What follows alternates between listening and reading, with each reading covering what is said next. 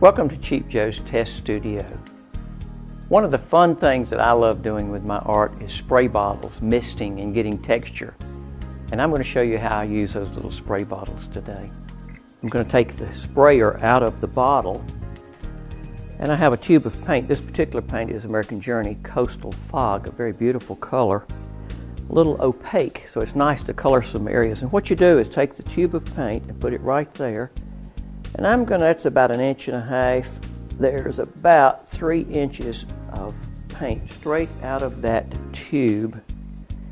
And I'll lay all that right over here. And then I'm simply going to walk over here and put some water in that, and I'll show you how much water here in just one second, up to right there.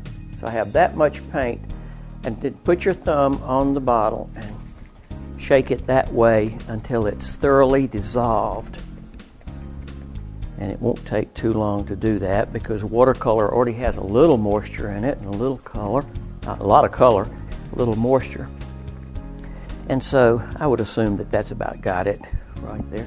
And then I'll put the sprayer back in it, take the lid off, and just simply start spraying it. And in a minute, it should, oh, there it comes already. Look at that. Can you see what I'm doing here? And I'll do it on a little darker area over here so you maybe can see. Look, it looks like snow on that one. Wow, look at that. I love it. Got some snow going in there. That's the coastal fog. If I wanted to add some ultramarine, and these have already been mixed up, I simply would come in here and start spraying some of this ultramarine for a little darker area back in here. Maybe I want some red, mix up a little bit of the red and start spraying a little bit of that and let it mix in with the blue and get a little nice violet over there. That would be nice.